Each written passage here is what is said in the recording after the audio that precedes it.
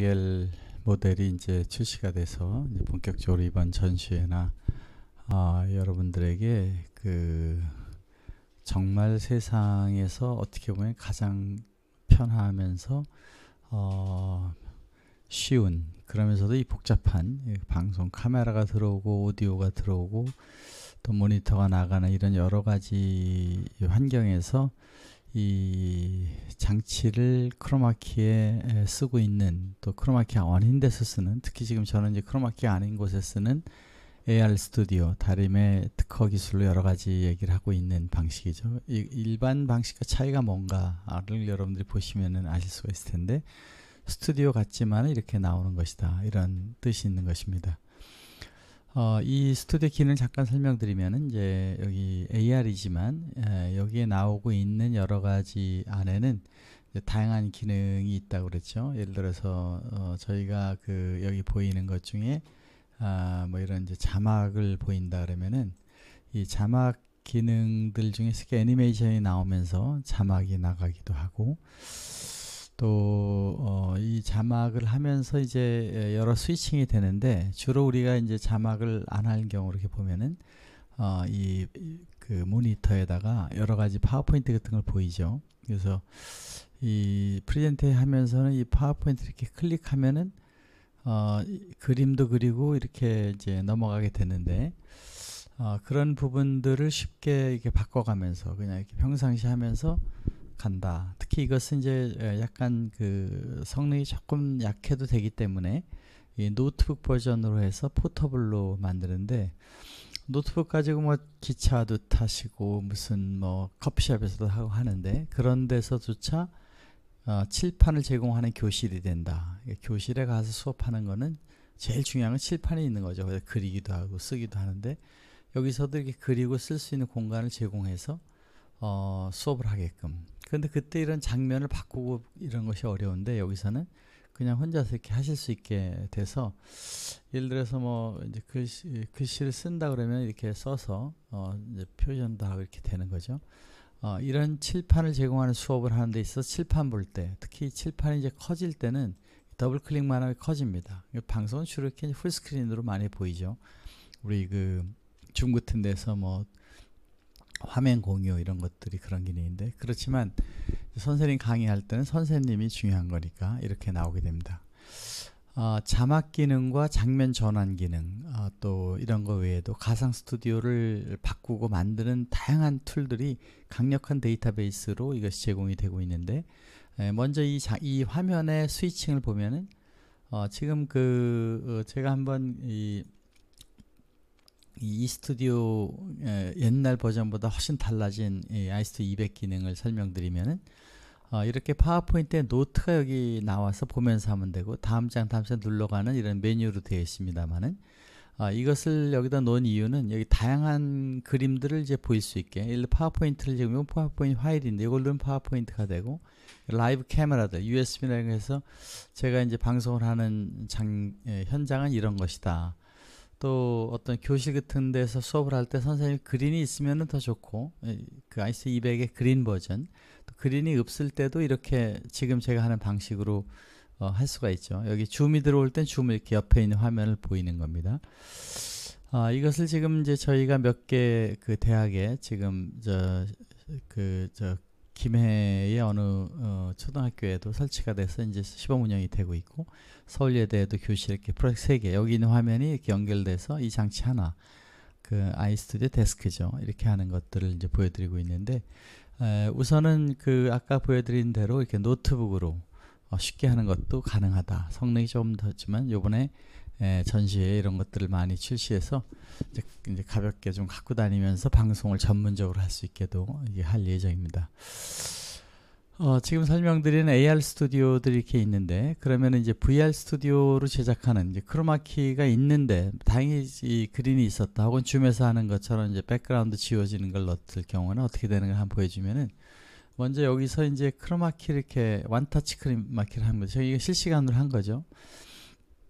이렇게 크로마키를 하면 이제 거의 완벽한 버추얼 스튜디오가 되지 않습니까? 여기 뭐 조금 지워버리겠습니다. 이런 데서 이제 강의를 하면서 똑같이 하는 거죠. 이렇게 할 때는 공간이 조금 더 여유가 있게 됐는데 지금 이렇게 이제 손이 여기 이렇게 뒤로 갔지 않습니까? 근데 이런 거를 이 버철 모드에서는 이 세터, 세팅에서 저 모니터를 약간 뒤로 이거 이제 그 스튜디오를 바꾼 거고 스튜디오를 바꾸고 스튜디오 색상도 이렇게 간단히 바꿔서 특수 효과에서 뭐 마음대로 되는 거고 책상도 바꾸고 다 되는 거죠. 그래서 이 모니터를 이렇게 뒤로 3차원 공간에 보이지 않습니까? 쭉 뒤로 가면은 어 이렇게 이제 나오는 겁니다. 그래서 여기다 놓고 어 아주 쉽게 제가 그 이 화면에다가 어 지금 여기 있는 그어 스크린 캡처를 넣어 보면은 뭐 더 쉽게 되는데 이렇게 그 editing 화면에서 보면은 이 크기만 이렇게 조정하면은 어이 장면들의 여기다 이제 배치를 할 수 있죠. 아, 그런데 만약 저를 더 크게 하고 싶다. 그러면은 이제 카메라를 선택해서 여기서 이렇게 에, 넣어주면 더 크게 되는 거죠. 선생님을 더 가, 크게 해서 어, 학생들이 보이게 쉽게 하겠다면 이렇게 완터치로 가는데 이런 걸 이제 방송국에 있는 장비로 하려고 그러면은 에, 굉장히 어렵게 되죠. 그 어, 이런 장면들을 편하게 바꾸고 아주 어, 쉽게 할 수 있게 하기 위해서는 여러 전문 기능들이 있어야 되는데 이제 이 아이스토 기능을 쓰게 되면 이런 면에 있어서 아주 편리하게 된다. 여기다 한번 제가 그 어, object를 바꿔서 네, 넣게 되면 이제 이렇게 이렇게 갔을 때 저 스크린 위치가 이렇게 변했죠. 이렇게 가는데 이렇게 지금 여기에 요 요 green 요게 있는 건 아까 AR 할 때 프레임을 넣어서 그런데 프레임 이렇게 바꿔 아, 프레임을 이제 넣어 보면은 사람의 프레임 이제 저 저한테 있는 프레임을 이렇게 지워버리면 되는 거죠. 그리고서 이 화면을 크게 어, 이렇게 만들어 주면은 이제 프레젠테이션을 이제 그 크로마키에 있으니까 더 크게도 할 수 있죠. 이렇게 해서 만들어서 할 수 있다. 뭐 이제 원하는 대로 이렇게 실시간으로 제가 다 하고 있는 겁니다만은 또 이제 카메라 약간 더 바꿔서 이렇게 해서 더 더 크게도 할 수 있다. 근데 이제 저희가 이걸 더 크게 하는 걸 크게 권장하지 않는 이유는 이렇게 하면 큰 게 나오니까 이런 게 있으니까 선생님을 좀 작게 넣어 놓으려면 이렇게 해서 하는데 이제 줌같이 이렇게 선생님이 있는 교실을 할 때는 항상 선생님 앞에 있는 것이 이제 학생들에게 몰입감을 주게 되죠.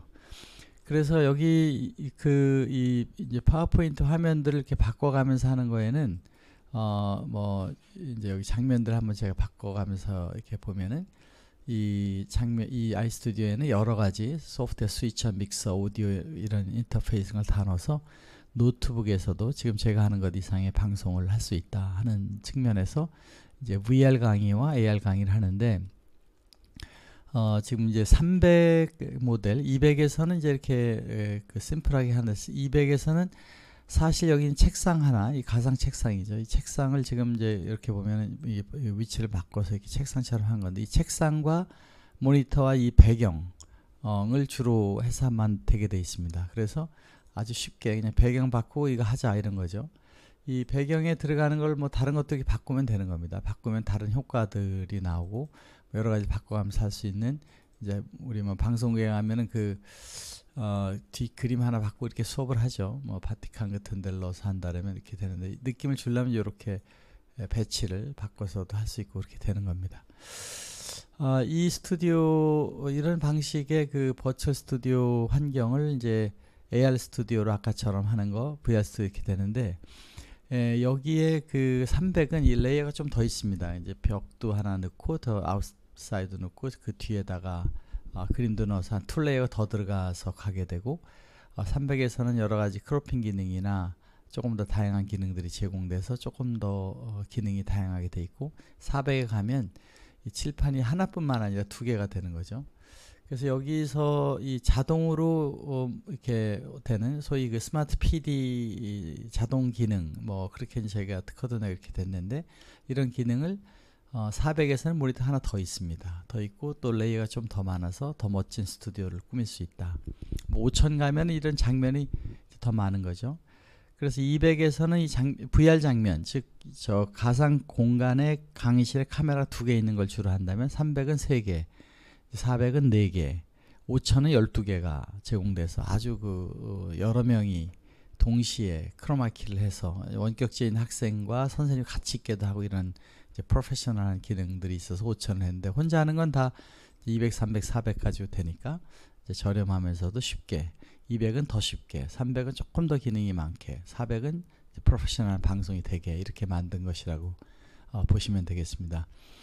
여러분 이런 이제 그, 그 환경에서 여러분들이 다양한 어, 장면들 하는 게 200이다. 200은 이렇게 VR 카메라가 두 개인데 어, VR 카메라가 두 개지만 어, 이, 이 카메라에서 모니터만 나오게 하거나 또 이제 그렇게 모니터 앞에 강사가 있게 하는 기능들이 제공됨으로써 사실은 네 개의 장면이 만들어지게 되고 300은 다섯 개의 장면 또 400은 여섯 개의 장면이라고 보시면 되고 이제 5천 가면은 한 16개, 17개 아, VR은 12개지만 이제 다른 장면까지 포함해서 어, 7천이 되면 12개이긴 하지만 더 다른 이제 정말 3D에서 일어나게 책상에 여기서 있는 그림 같은 거 아무나 만들어 놓지만은 이제 에, 7천 가면 2D로도 되고 3D도 되고 뭐 이렇게 해서 이 모델들 차이가 있다고 보시면 되겠습니다. 아무튼 오늘 간단히 그 어, 저희 아이스토 200의 VR 모드와 AR 모드 설명을 좀 하면서 여러분들이 쉽게 이해할 수 있도록끔 말씀을 드렸습니다. 여러분 어, 이 새로운 강의 장치 이, 이 소위 그 비대면 시대의 강의들을 우리가 어떻게 하면 될 것인가에 대한 이제 그런 내용들을 여러분이 쓸 수 있게끔 되도록 한 아이스튜디오 기능 어, 많이 참고해서 활용해 주시기 바랍니다. 감사합니다.